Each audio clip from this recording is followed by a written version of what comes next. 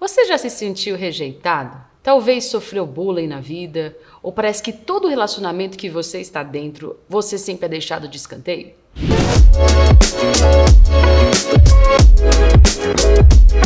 Vamos falar hoje sobre como vencer o sentimento da rejeição. A primeira rejeição da humanidade foi no Jardim do Éden, em Gênesis 3, quando a Eva e o Adão acabam pecando e são expulsos daquele jardim. E para você, que talvez se eu não conhecesse a Jesus, você ia pensar, nossa, que maldade, né? Eles só erraram, só uma vez, e já foram rejeitados. Porém, detalhe muito importante, que ao serem expulsos do jardim, eles já saíram com peles de cordeiro, que representaria o que? Jesus Cristo um dia nos redimindo de tudo. Desde Gênesis até a época que Jesus morre na cruz, Deus ele começa a traçar todo aquele plano para que ele tenha de volta o povo dele para si mesmo. E é lindo que de tudo que pode acontecer na nossa vida, o Senhor Deus é o único que nunca nos rejeitará. Ele nos ama completamente e incondicionalmente. Mas nós vivemos num mundo caído, onde nós temos relacionamentos e pessoas ao nosso redor que vivem nos rejeitando. E sem perceber, nós carregamos essas raízes de rejeição na nossa vida e a gente acaba se tornando pessoas que têm até um estigma daqueles que são rejeitados. Então, hoje vamos falar sobre como que a gente consegue então superar essa rejeição. Gostaria de ler o versículo que eu amo em Jeremias 31, versículo 3 a 4. Portanto, com amor eterno eu te amei, por isso com benignidade te atraí ainda te edificarei e serás edificada, ó Virgem de Israel. Aqui é Deus falando com o seu povo, que ele nos amou com amor eterno e que mesmo que nós estejamos em ruínas, ele ainda vai nos edificar. Eu diria que existem quatro tipos de rejeições que você e eu podemos viver na vida. A primeira rejeição que nós podemos viver na nossa vida, ou que talvez você já viveu, é a número um que eu falo que é quando você é ignorado ou é colocado de escanteio.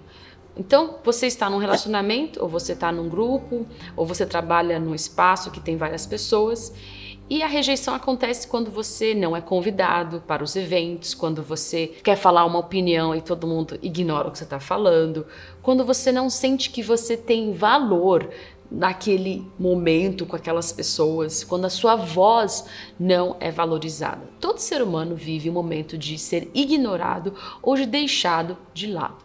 Você pode pensar que não, não, aquela pessoa nunca foi rejeitada. Sim, todo ser humano vai viver alguma fase em que ele vai ser ignorado.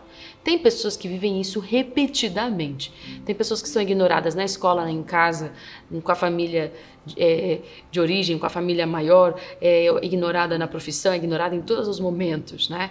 E essa pessoa ela começa a gerar então um estigma que ela realmente é a rejeitada, ela é a ignorada.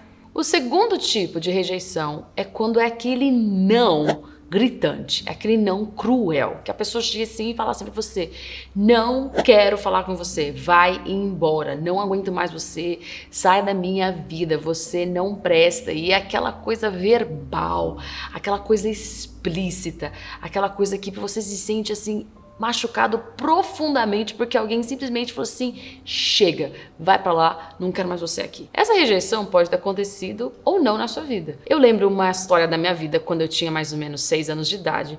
Nós estávamos brincando naquele gira-gira e daí uma das meninas da minha escola, que era a popular da escola, ela queria entrar e sentar bem onde eu estava sentada. Claro que tinha muito espaço para ela sentar, mas ela queria sentar onde eu estava. Então ela falou assim: Zoe, sai do gira-gira que eu que vou entrar. E eu falei para ela: não, eu vou ficar aqui sentada, é meu lugar. E daí ela chegou, ela me deu um tapa na minha cara. Gente, eu nunca levei um tapa na cara, não sei naquele dia. Ela me deu um tapa na minha cara. E eu saí do gira-gira chorando, muito, muito triste. E fui me esconder no banheiro porque ela me tinha me tirado do gira-gira. Eu voltei para casa e eu falei: mãe, você não faz ideia o que a Stephanie fez comigo. Ela me deu um tapa na cara. E daí a mãe falou assim: e você não fez nada? E dali aprende muita coisa, né? Porque a gente também precisa se defender, precisa também, também se posicionar, falar com a professora, ou alguma coisa eu tinha que ter feito. Bem, chegou o dia seguinte, eu cheguei com tudo na cara da Stephanie e eu falei para ela: Olha aqui, Stephanie, você nunca mais vai me dar um tapa na cara. E, gente, ela nunca mais deu. Ela ficou com medo, porque eu tava com muita coragem aquele dia, né, pessoal? Mas isso é uma rejeição que a gente sofre na vida, de alguém dar um ser explicitamente assim: Não quero você aqui, vai embora, né? E dói muito. Isso gera mágoas profundas no nosso coração. O terceiro tipo de rejeição que a gente pode viver é a rejeição que eu falo educada. Eu amo essa rejeição porque ela é que menos dói, porém ela não dói ainda, né? Tipo, então eu não amo ela. É, quis dizer que de todas as rejeições, essa é a menos ruim, porque ela é falada com delicadeza. Por exemplo, Zoe, você não passou na seleção, o seu trabalho não foi escolhido. Infelizmente, boa sorte na próxima vez. Quem nunca viveu isso? De você fazer uma entrevista de emprego e a pessoa educadamente falar que você não passou. Ou quando você achou que estava bombando e alguém falou assim, então, não foi tão bom assim. Essa rejeição, ela é costumeira, ela vai acontecer na nossa vida. Mas para alguns ela dói muito mais do que para outros, dependendo do nível de quantas vezes a pessoa já foi rejeitada na vida. Mas ela faz parte sim. E a última rejeição, que eu acho que raramente acontece, é a rejeição que ela é feita educadamente ainda com feedback e sugestão. Gente, essa daí é caprichada. Então a pessoa ela te rejeita, mas ela ainda te dá uma dica para você melhorar. Eu lembro que eu fui participar de um salão de arte de salão de arte basicamente é quando você compete, né, para entrar com a sua obra de arte. Daí chegaram lá no museu, Museu X, que eu não vou falar qual que foi, que eu queria muito entrar com as minhas obras. Eu entrei ali, né, e daí os bambambãs falaram assim: então, essa daqui não vai passar, você não vai entrar nesse salão esse ano. E eu fiquei muito triste. E na hora eu falei: poxa, eu quero saber por quê. Eu falei assim: é, senhor, por favor, pode me falar por quê? É porque você não é boa, né? Mas eu vou te dar uma dica: melhora essa técnica, melhora aqui, precisa de mais poética, precisa de mais linguagem, papapá. E eu saí de lá muito feliz. E sabe o que aconteceu? Eu fui o ano, o ano seguinte e eu passei e entrei em três anos consecutivos naquele museu. Por quê? Porque eu peguei aquela rejeição, peguei o feedback e fiz alguma coisa valer e melhorei. Então, basicamente, a gente tem esses quatro tipos de rejeições que acontecem na nossa vida. Umas rejeições mais doloridas e outras menos, ok? Já vivi rejeições muito doloridas quando fui traída, quando fui rejeitada na cara dura.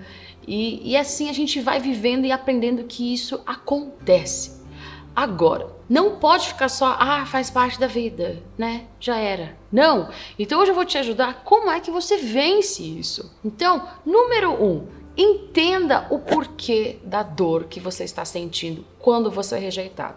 Existem pessoas que conseguem levar a rejeição com muita leveza.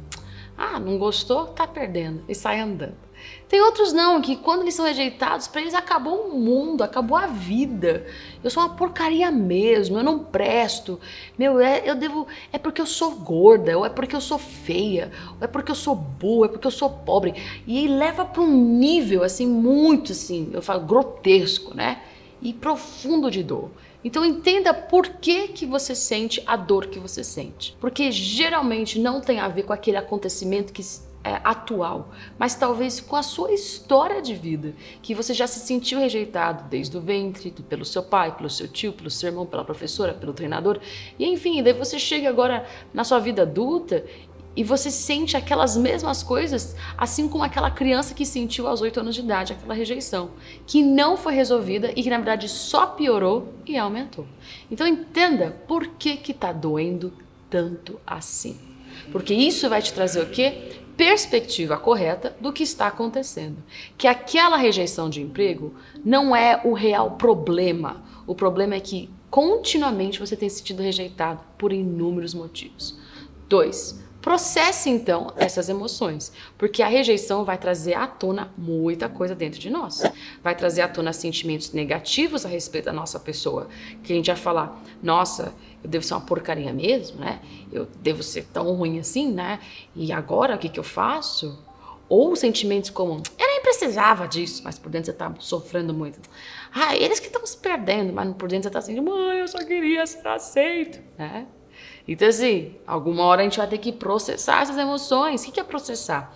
Pensar onde, de onde elas vêm, por que, elas estão ali, como que eu posso vencê-las, como que eu posso trocar esses pensamentos negativos pelos pensamentos de Deus na minha vida, certo? Três, o mais difícil de todos, perdoe a pessoa que te rejeitou, ok? Perdoe a circunstância ou aquele momento do ocorrido que você se sentiu uma porcaria e que você não era digno. Perdoe. Porque raramente alguém consegue prosseguir se não perdoar. Diria que nunca, né?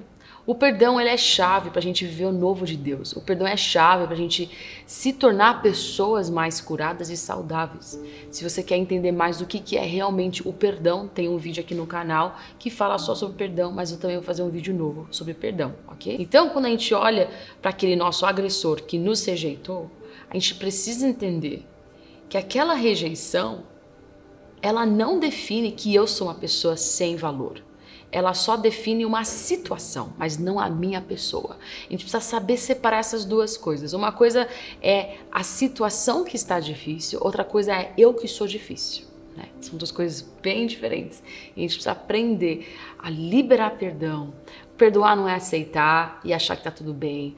Perdoar não é gostar. Perdoar é liberar você se liberar daquela circunstância e conseguir prosseguir para um futuro melhor. E por último, para você vencer a sua rejeição, é foque em receber o amor do Pai. Maioria de nós não conseguimos receber o amor de Deus e por isso que nós somos sentimos rejeitados o tempo todo. Porque é somente quando nós sentimos que somos já aprovados e aceitos que nós conseguimos viver tudo que Deus tem para nossa vida. Que nós conseguimos encarar as nossas rejeições como parte da vida e não como um defeito da vida. Porque muitos de nós achamos que, poxa, eu nunca, eu não posso nunca ser rejeitado. Então você faz tudo para agradar todo mundo.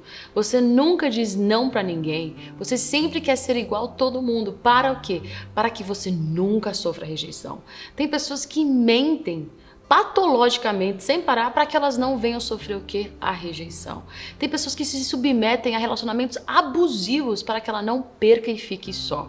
Então, na nossa vida a gente precisa chegar nesse limite e falar: Deus, eu não posso mais viver dessa forma, cheia de rejeição. Eu preciso ser liberto dessa raiz da rejeição, que começou sim no Éden, que começou sim quando o pecado entrou, para que eu possa viver o novo de Deus, que Jesus já morreu na cruz, Jesus já morreu por todos os meus pecados e pelo pecado de Adão e de Eva, e eu posso sim viver a plenitude do que é a aceitação do Pai.